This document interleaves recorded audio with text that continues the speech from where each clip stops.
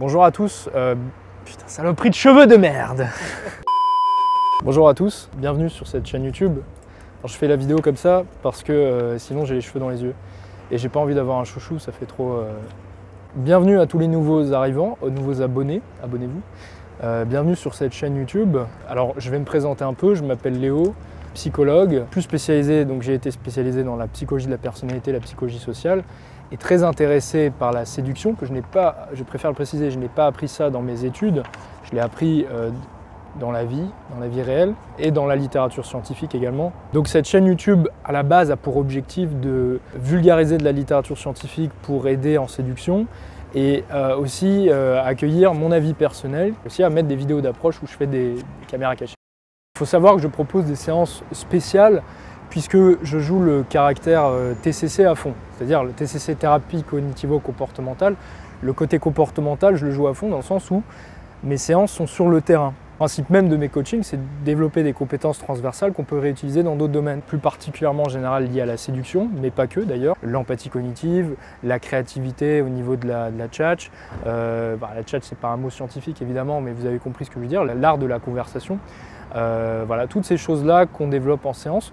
Je fais ça pour des hommes et aussi pour des femmes. D'ailleurs, je propose aussi des séances classiques, euh, donc soit en face à face sur Paris, soit au téléphone, où on parle des rapports euh, hommes-femmes et des relations amoureuses. Beaucoup de demandes féminines récemment concernant le fait d'avoir un copain qui se désintéresse de moi, le fait d'avoir un copain euh, euh, qui, a des comportements manipulateurs avec moi, qui, euh, qui se comporte mal, ou alors d'être encore amoureuse d'un homme qui nous a fait souffrir, etc. Bon, toutes ces choses-là, on peut en parler dans le cadre de séances téléphoniques ou en face à face. Dernière chose, je gère également le club des philogines, un club privé pour lequel il y a une réelle sélection à l'entrée. On est deux philogines sur le coup pour bosser là-dessus. Donc club privé dans lequel nous avons un forum, un Discord. Ce club permet aux philogines de se retrouver en, fonction de leur région, hein, dans différents coins de France. Le club me permet de véhiculer tout le contenu interdit, ce que j'appelle le contenu interdit, c'est-à-dire tout le contenu que je ne peux pas partager sur YouTube, soit pour des raisons de censure, soit parce que ce n'est pas un contenu qui est adapté à un public général. Donc si vous souhaitez rentrer dans le club, eh ben, il vous suffit juste d'aller sur le site internet, le lien que je mettrai en barre d'infos, et de remplir la demande d'adhésion au club. Aujourd'hui, je vais vous parler du narcissisme. Le narcissisme, c'est un concept qui est étudié à la fois dans la psychologie de la personnalité, sous le concept de la triade noire, et à la fois dans la psychopathologie. Euh, donc, il y a d'un côté le narcissisme, le trait narcissisme, et d'un autre côté le narcissisme pathologique, ou alors le trouble de la personnalité narcissique. Je vais vous parler des deux. Euh, déjà, dans un premier temps, euh, il faudrait commencer par re- re- reprendre le principe de triade noire. Triade noire, dont je vous ai déjà parlé dans d'autres vidéos, euh, c'est ce concept développé par euh, les psychologues en psychologie de la personnalité qui étudie donc ces trois grands traits de personnalité que sont machiavélisme, psychopathie et narcissisme. La triade noire, c'est un sujet qui devient de plus en plus à la mode depuis les années 2000, à la fois dans la littérature scientifique, mais aussi dans le monde du travail. Tout simplement parce qu'en fait, on se rend compte, on est en train de réaliser que euh, les personnalités de la triade noire sont extrêmement dangereux pour l'organisation et pour les gens autour d'eux, pour les salariés. C'est donc une perte de temps, perte d'argent, et ils sont assez compliqués à identifier dès le départ. Donc, euh, il y a de plus en plus de demandes de la part du, monde du travail pour essayer de les identifier rapidement dès l'entretien. Le narcissisme, c'est cette capacité à maintenir une image de soi positive, c'est ce qui pousse les individus à aller rechercher dans leur environnement social des informations qui vont leur permettre de s'affirmer, qui vont les valider socialement. Euh, on en a tous besoin du narcissisme. Comme je vous dis, ça évolue sur un continuum. On est plus ou moins narcissique. Euh, il faut un minimum de narcissisme pour pas euh, devenir un paillasson. Et là où ça devient intéressant, c'est que les chercheurs ont montré que des, niveaux de narcissisme élevés pouvaient même être entre hyper adaptés à la, société actuelle et plus particulièrement à certains domaines de la vie comme euh, le management, la politique et même la séduction. C'est-à-dire que les personnes qui ont des scores élevés sur la triade noire, euh, parfois même des scores euh, excessifs sur la triade noire, sont perçus comme étant plus attirants que les personnes avec des niveaux normaux sur les caractéristiques de la triade noire. Certains hommes, notamment nos, frères friendzonés, feraient mieux de s'injecter une bonne dose de narcissisme pour apprendre à se faire un peu respecter euh, et ne pas finir comme le fameux paillasson de ces dames. On va d'abord parler du trait narcissisme qui est évalué par le test de personnalité qu'on appelle le NPI, donc le Narcissism Personality Inventory, qui euh, consiste en une quarantaine d'items, de questions, qu'on va poser à la fois à la personne concernée, mais aussi aux personnes autour d'elle. Donc si c'est dans le monde du travail, à ses collègues, à son manager, euh, à ses subordonnés. C'est ce qu'on appelle des tests en 360 degrés. Là, je vais me baser sur euh, les analyses factorielles de Raskin et Ackerman, parce qu'il faut savoir qu'en fonction des études, euh, il y aurait un certain nombre de facteurs qui varient. Là, on va utiliser à peu près six facteurs qui reviennent très souvent dans l'étude du narcissisme. Le premier facteur, c'est l'autorité. c'est ce qui fait qu'on voit très souvent des narcissiques à des postes de leader comme je vous l'avais dit dans une autre euh, vidéo, un cinquième des euh, chefs d'entreprise ferait partie de la triade noire. Ce facteur autorité, il est corrélé à l'extraversion, il est corrélé euh, à l'assertivité, au caractère dominant, à la, compétition, le côté compétitif. voilà, ce sont des personnes qui vont tout faire pour atteindre des, postes de pouvoir et qui se considèrent comme de très bons leaders et qui d'ailleurs très souvent sont perçus comme de bons leaders, du moins sur le court terme. Attention parce que sur le long terme, comme on l'a vu, ils deviennent euh, destructeurs pour l'organisation et pour les gens autour d'eux. Le deuxième facteur qui peut euh, sembler le plus évident, du moins le premier auquel on pense quand on pense au narcissisme, mais il est vrai, c'est l'exhibitionnisme. Euh, ça c'est traduit de l'anglais, l'exhibitionnisme ça correspond au, fait de vouloir se montrer, avoir les yeux rivés sur soi, d'être le centre de l'attention. Donc c'est fortement corrélé à l'extraversion, c'est fortement corrélé à l'ambition et à la recherche de sensations. Euh, donc ces personnes font tout pour euh, gagner l'admiration des autres, puisque le narcissique vit pour obtenir l'admiration des autres et fuir les retours négatifs. Le narcissique a donc un besoin excessif d'admiration et pas juste de validation. Et euh, ce besoin d'admiration, s'il est trop extrême, il peut, en devenir, il peut devenir pathologique et amener à de la souffrance s'il n'est pas comblé.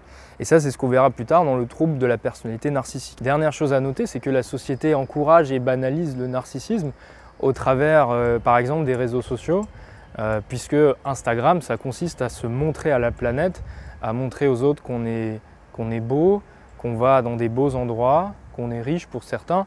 Bon, vous le savez déjà, mais en tout cas, il faut. C'est intéressant de noter qu'il y a une, une certaine euh, poussée au narcissisme et d'une certaine manière on pourrait penser que le niveau moyen de narcissisme a augmenté et que le niveau requis de narcissisme pour être adapté socialement a lui aussi augmenté. Si vous voulez un exemple euh, pour illustrer ce facteur exhibitionnisme dans la, cinématographie, vous prenez euh, euh, le film American Psycho avec Patrick Bateman où vous avez au tout début du film la morning routine de Patrick Bateman qui, se fait beau, hein, qui met des tonnes de produits de beauté sur le visage, euh, qui prend soin de son corps euh, en, faisant plein d'exercices de sport, donc c'est millimétré. Euh, et, en fait, le, sens du film, l'un des sens du film, c'est de montrer que l'image est beaucoup plus importante que ce qu'on est réellement au fond. En l'occurrence, en l'occurrence pour Patrick Bateman, c'est-à-dire un monstre. Troisième facteur, c'est l'exploitation, qui concerne le manque d'empathie et le manque de considération à l'égard des autres. Alors quand on parle d'empathie dans le cas du narcissique, c'est un peu le même principe que chez le psychopathe, c'est-à-dire que son empathie cognitive est intacte, donc il est capable de se mettre à la place des autres et de comprendre ce que les autres ressentent. C'est d'ailleurs ce qui lui permet de manipuler les autres. Il s'en vante d'ailleurs dans les, euh, entretiens. Euh, le narcissique se vante de, lire les personnes comme des livres, euh, d'être capable de les manipuler, de les influencer. En revanche, il a une empathie affective qui est inférieure à la moyenne, euh, c'est-à-dire qu'il a du mal à ressentir les émotions des autres. Et d'ailleurs, faites le test, hein, quand vous discutez avec une personne fortement narcissique, vous aurez cette étrange sensation de ne pas exister. Je dis même discuter avec une personne narcissique, mais en fait c'est lui qui parle et vous qui écoutez, puisque euh, les autres ne sont là que pour euh, admirer les narcissiques. Les autres ne sont pas considérés comme des humains, mais comme des instruments soit à utiliser pour atteindre la réussite, sa réussite personnelle, soit à utiliser pour se nourrir euh, de leur admiration, soit éventuellement, euh, s'ils sont extraordinaires comme eux, euh, pour les valoriser. Hein, je vais m'entourer de personnes extraordinaires parce que ça me rend encore plus extraordinaire. Ce facteur exploitation, il est aussi associé à l'hostilité, à l'agressivité, mais aussi au caractère rebelle et à l'anticonformisme. ça s'explique par le fait qu'un narcissique, c'est très difficile de le manager euh, c'est le premier qui va refuser de recevoir les ordres, c'est lui qui va les donner plutôt. Et, euh, ça explique aussi bah, que d'une certaine manière, il faut une certaine dose de narcissisme euh, pour créer, pour entreprendre et pour créer un mouvement. Puisque quand on crée un mouvement, hein, la première, comme on dit souvent, le, la première étape du leader, c'est de commencer par désobéir. C'est pour ça qu'il faut, juste noter qu'il n'y a pas que du négatif dans le, trait narcissisme, du moins dans les caractéristiques du trait narcissisme. Il y a certaines caractéristiques qui sont, encore une fois, nécessaires et même parfois qui sont hyper adaptées on l'a vu euh, dans l'intro. Le quatrième facteur qu'on retrouve dans, toutes les analyses factorielles concernant le narcissisme, c'est entitlement. En anglais, entitlement, ça veut dire le sentiment que tout leur est dû, euh, qu'ils doivent bénéficier d'un traitement de faveur. Et ça, c'est corrélé euh, négativement avec le trait agréabilité du Big Five et positivement avec le, trait névrosisme du Big Five aussi. Le névrosisme, c'est les émotions négatives. Les narcissiques ressentent plus fortement et expriment plus fortement la colère et très souvent lorsque leurs attentes et leurs croyances grandioses vis-à-vis de leur propre personne ne correspondent pas avec la réalité. Lorsque leurs attentes sont contradictoires avec la réalité, et alors bien dans ces cas-là, le narcissique peut euh, péter un câble, euh, avoir des crises de rage, euh, s'en prendre de manière très agressive aux autres. Et s'il y a un problème, s'il y a un problème autour de lui, il va se plaindre, il va se plaindre que les autres ne sont pas, euh, ne sont pas assez bien, que lui a été parfait, qu'il a tout fait pour tout le monde, que c'est quelqu'un d'extrêmement généreux. Ça d'ailleurs c'est ce qui fait une des distinctions entre les, psychopathes et les narcissiques, puisque les psychopathes ont des scores sur le très névrosisme très bas, contrairement aux narcissiques. Et il y a un exemple très marrant d'American Psycho pour illustrer, euh, ce que je viens de dire là, c'est quand ils, ils montent leur carte de visite, ils sont tout le temps en train de comparer leurs cartes de visite qui en fait sont quasiment les mêmes puisque ce sont des clones en fait les gars, mais bon bref. Et euh, il y en a un qui, euh, qui, a une plus belle carte de visite que lui. Et ça, ça suffit à pousser Patrick Bateman à aller le choper dans les toilettes pour l'étrangler.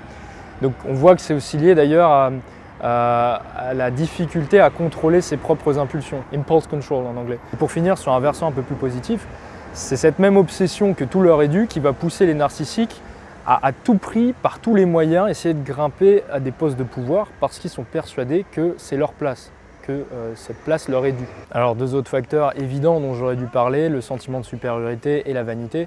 Le sentiment de supériorité, bah, les narcissiques se considèrent comme extraordinaires, euh, supérieurs aux autres à tout, tout égard. Et ils sont très souvent étonnés qu'on n'ait pas déjà fait de biographie à leur sujet. Il faut savoir aussi que le sentiment de supériorité est lié à l'arrogance. Donc les narcissiques sont réputés pour, avoir, être arrogants vis-à-vis des autres, beaucoup de mépris par rapport à ceux qu'ils considèrent inférieurs, euh, même ceux qui, les admirent. Donc si vous n'êtes pas extraordinaire, vous allez être euh, méprisé par les narcissiques. Et concernant la vanité, les narcissiques se décrivent eux-mêmes comme étant plus beaux que la moyenne, plus attirants que la moyenne, et là où ça devient intéressant, c'est qu'ils sont également décrits par leur entourage comme étant plus beaux que la moyenne, plus attirants que la moyenne.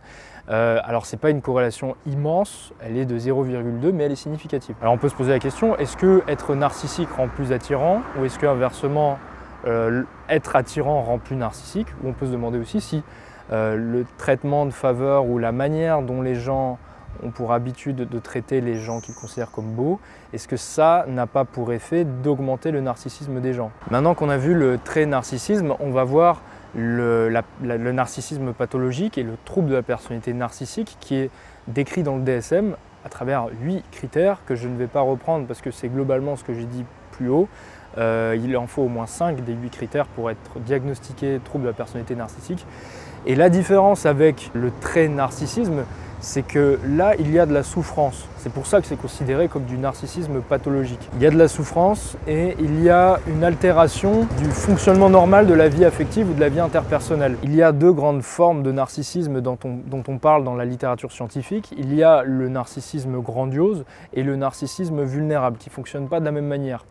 Le, narcissisme grandiose, c'est globalement très bien décrit dans le DSM euh, et, dans ce que j'ai dit là, donc c'est tout le côté euh, euh, exhibitionnisme, sentiment de supériorité. C'est le narcissisme qu'on ne peut pas louper, c'est le narcissisme où la personne va tout faire pour obtenir de l'admiration. Le narcissisme vulnérable, lui, va plutôt tout faire pour fuir les situations où il n'y aurait pas d'admiration et surtout fuir les situations où ses attentes seraient en contradiction avec la réalité puisqu'il ne va pas réagir de la même manière. Alors les deux réagissent avec agressivité, hein, les deux réagissent avec des crises de colère, mais le narcissique grandiose a une estime de soi au plafond, alors que le narcissique vulnérable a une estime de soi extrêmement fragile.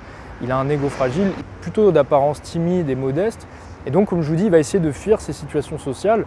Donc il y a un comportement d'évitement. C'est d'ailleurs pour ça que le trouble de la personnalité narcissique peut être confondu avec le trouble de la personnalité euh, anxieuse et évitante.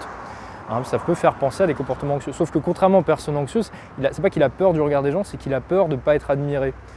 Il y a un réel besoin, encore une fois pathologique, d'admiration. Et lorsque ce besoin n'est pas rempli, ça amène non seulement à de la colère, mais après la colère, il y a un sentiment de honte et de déprime. Dans le cas de figure où la réalité ne colle pas aux croyances démesurées qu'ont les, euh, narcissiques sur eux-mêmes, que ce soit les, vulnérables ou les euh, grandioses, dans ce cas de figure-là, euh, les deux vont gérer un peu différemment. Il y en a un qui va rejeter la faute sur, les autres, sur le monde, et qui du coup va absolument ne pas prendre en compte toutes les informations qui viendraient en contradiction avec, leurs croyances sur eux-mêmes et donc qui vont avoir du mal au final euh, à manager, qui vont avoir du mal à prendre de bonnes décisions.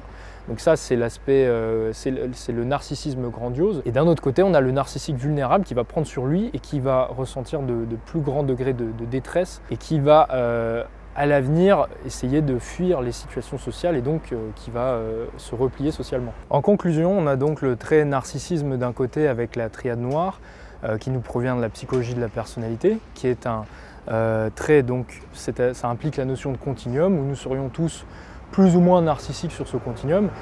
Et d'un autre côté, on a le narcissisme pathologique, donc le trouble de la personnalité narcissique, qui lui est décrit dans le DSM et qui est utilisé par les psychologues et les psychiatres pour euh, étudier une population euh, clinique. Et la dernière chose à noter, c'est qu'il y a plus d'études faites sur le narcissisme sur la population générale plutôt que sur des populations cliniques.